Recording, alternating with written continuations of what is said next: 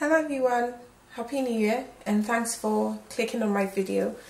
Today I'll be talking about peritectic transformations. This was a video that was requested by one of my subscribers. I'll be using the iron-iron carbide phase diagram for demonstration. So a peritectic reaction, a peritectic transformation, is quite similar to a eutectic or eutectoid transformation. In a eutectic transformation, you have liquid cooling down directly into a two-phase solid, solid solution. But in the case of a eutectoid reaction, you have a solid which cools down into two solids. But in the case of the peritectic reaction, you have, in this case, the alpha liquid, alpha plus liquid, cooling down directly into the beta phase. So you have a solid plus liquid cooling down into solid, or in the reverse, a solid heated up to form a solid plus a liquid.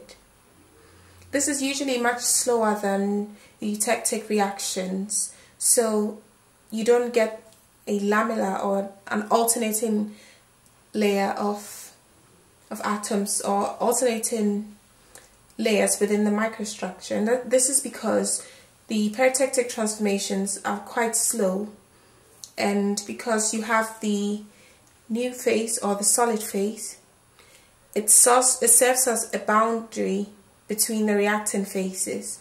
So it's, it's then much slower than to convert from one solid phase plus liquid into a, into a beta phase. So if we look at the iron-iron carbide phase diagram, or in steel, at the top left corner, that's where the peritectic transformation happens.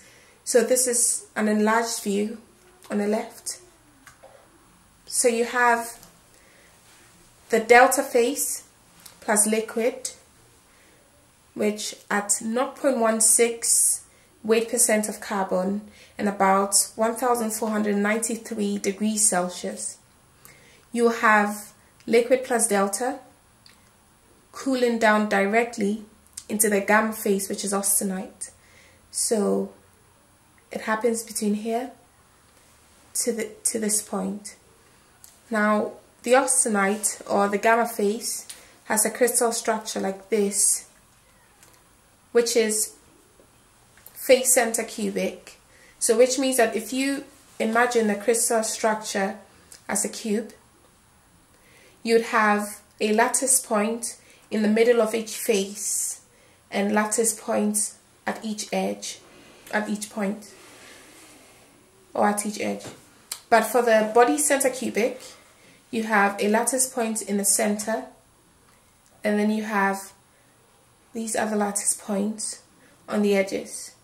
So this delta phase is body center cubic plus the liquid, which is this region, and at 0.16 degrees Celsius, 0.16 weight percent of carbon, sorry, and 1493 degrees Celsius, you have that conversion then directly into austenite. And that's the peritectic transformation. So that's a good reference for you. I'll leave that in the description box. And I hope that helps you to understand peritectic transformations. Thank you.